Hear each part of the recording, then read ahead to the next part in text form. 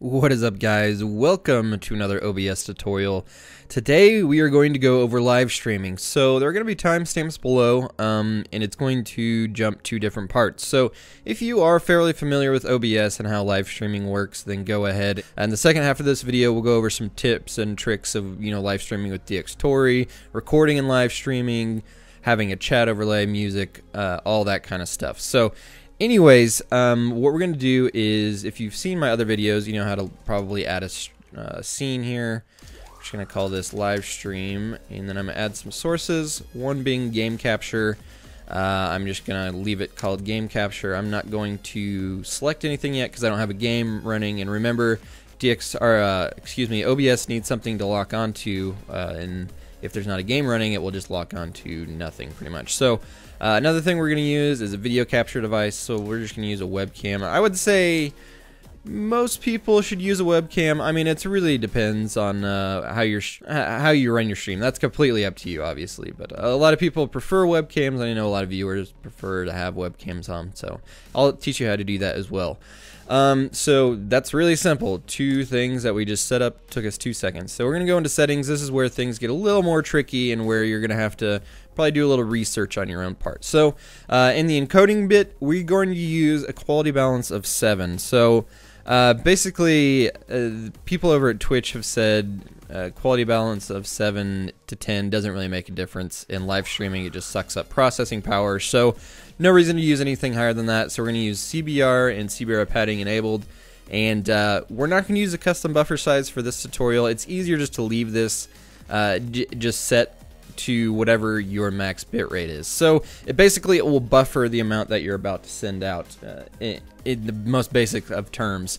Uh, and what we're going to need to do to find out our max bitrate is Google and do a speed test. I'm sure plenty of you probably already know what your connection is, so make sure to go ahead and just double check your speed test. Maybe do it a couple times to make sure you're not having dropouts or anything like that. And live streaming is very dependent on upload speed. You can see I have a pretty decent download speed of 50, but my upload speed, since I have cable internet, is really crappy. It's only about 3.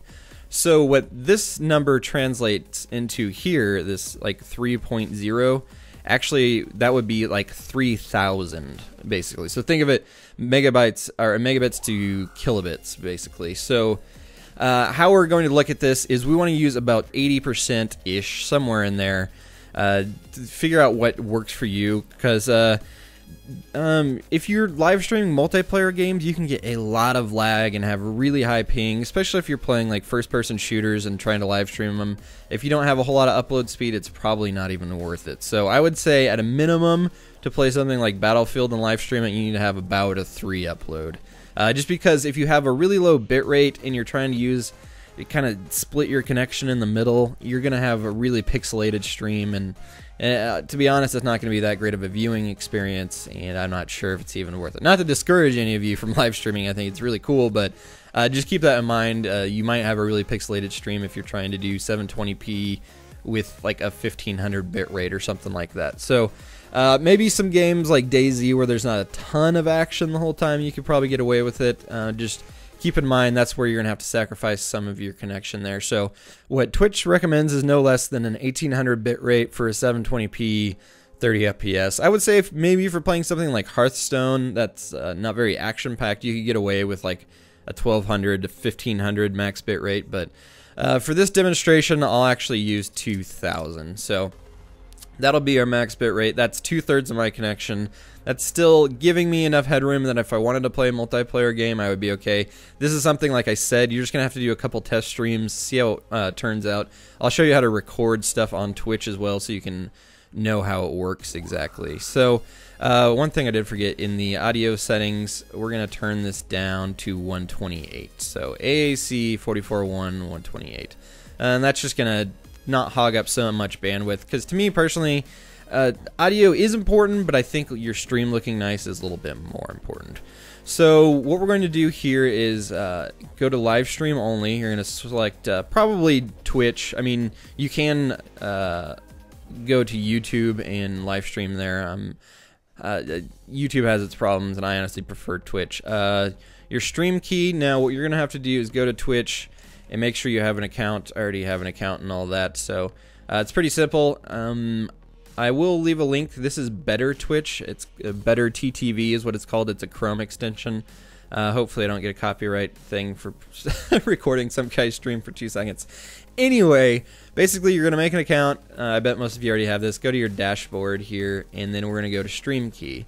Obviously, I'm not going to show my stream key because I don't want you guys to have it, but it's going to come down with a long series of letters and numbers, and you're going to post that in this little thing right here. That's pretty self-explanatory. I don't touch anything else. You can set up hotkeys, but it's not a huge deal, so uh, let's keep moving on. In the video tab, this is where you're going to scale your stream. I would say um, if you don't have at least like a, a, a 2000, 2500 bitrate, uh, I wouldn't bother with 1080p, and it's going to take a toll on your computer. Remember, uh, live streaming is CPU intensive, so if you don't have at least probably a quad core, an AMD 6 core, I mean, you can do it with stuff like an i3 that has hyperthreading. Uh, hyperthreading certainly helps in um, live streaming, but uh, play around with it. If your game is really suffering in frame rates, then maybe live stream isn't for your uh, computer. But you know, like I said, test it, uh, look around and see if other people have used your hardware to live stream. And again, it depends on the game. So even my computer struggles to live stream something like Battlefield 4. It's just pretty demanding. Uh, luckily, I have the i7 now, so it does a lot better. But with my 3570K, it would chug. So anyway, uh, I'm going to go ahead and downscale mine to 720p right here at 30 FPS. Uh, again, I'll leave links down below where you can look and see what bit rates you need to do like 1080p, 60 FPS, and stuff like that. Uh, I think the standard for 1080p uh, is around a 3000 bit rate. So uh, we'll move on to the audio. This is pretty easy as well. I use just the default audio device um, just because my, my, audio is set up a little bit wonky. And then my microphone is this uh, line one two uh, Digidesign Mbox 2. And basically my microphone only comes on comes in on the left side, so I have to force it to mono. Uh, but most of you probably shouldn't have to do that.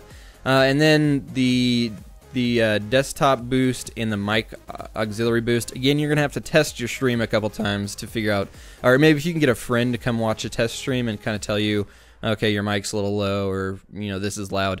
You can if you're um, these sliders over here are going to adjust your microphone and your game volume, but if you can't turn up your microphone anymore, uh, you can go into the audio setting and boost it up a little bit. I was just messing around with this and actually needs to be something more along those lines for me. Alrighty guys, now onto the advanced tab. Basically we're just gonna, uh, if you're at the defaults, all we're gonna change is change this X264 encoding profile to main and I'm gonna change the keyframe interval to two uh, seconds. So I'm just gonna hit apply and that is it. Alrighty guys, let's actually get up and live streaming. So basically what we're gonna do is go back to our Twitch dashboard um, and we're to go to the live tab, and that'll bring us to this little screen. Uh, and I'm just to title this a test stream, and I think I'm to play like Team Fortress 2.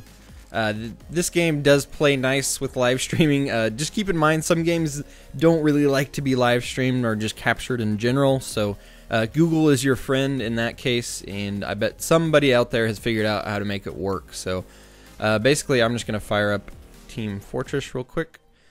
And uh, I do have it running in a window right now so um, if you'll excuse me just a second I can get this uh, out of the way for the time being. So we're gonna go back to our uh, game capture over here right click it hit properties hit refresh and Team Fortress 2 will now be popped up so I'll hit OK and then I can hit preview stream so as you can see, we have our game being captured. I'm down here in this little corner here, and I can just hit edit scene. So edit scene will allow me to move my webcam around here and if I get centered and I can kind of crop it down. If you hold alt, this is new to OBS, you can actually crop the, the picture and that's super handy. So if your webcam can only be in one place, you can actually use this to move it around and you know just move it around to a spot that's not covering up like a mini map or anything or uh, a lot of people in DayZ put their webcam over the top of where it would say player's name so they don't get stream sniped that's a whole other thing that you're probably not going to have to worry about when you're first starting out. But in the future, uh, just good to have and keep in mind. And uh, yeah, that's it. We're ready to go. So after I'm got my preview stream ready to go, I'm going to go ahead and hit start streaming. So that's going to go over to my dashboard. It will take a second for it to get up and going, but uh, while that's starting, we're going to talk about these little numbers down here. So this is our bitrate. As you can see, it's going to go around 2000. So if it's if it needs a little more headroom, it's going to go ahead and pop up. And uh, let me mute the stream real quick so we don't get streamception here.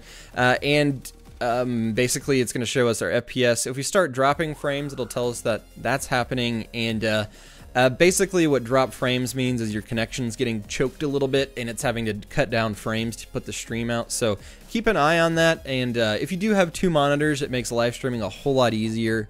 Uh, but if you don't, uh, maybe grab your phone or grab a, a laptop if you can. Uh, maybe even grab the TV from downstairs for the afternoon and hook it up to your computer. I guarantee you it will save you a lot of trouble. So basically, I have Team Fortress 2 running in my other monitor here. You can kind of, uh, I don't know if it's going to pick up on this recording, but uh, it's running over here, and um, as you can see, it's being captured. So I'm live streaming out to Twitch right now, and we're up and going. This is all you need to know. This is all you need to do to uh, get going. Like I said, uh, you can record your uh, live stream here. So how would one go about doing that? So basically, we're going to go over to our settings, and you can actually record your streams straight from uh, basically your your live stream. So what you can do is go down here and click uh, archive my my broadcast, and uh, that will be it. And just make sure you save your settings.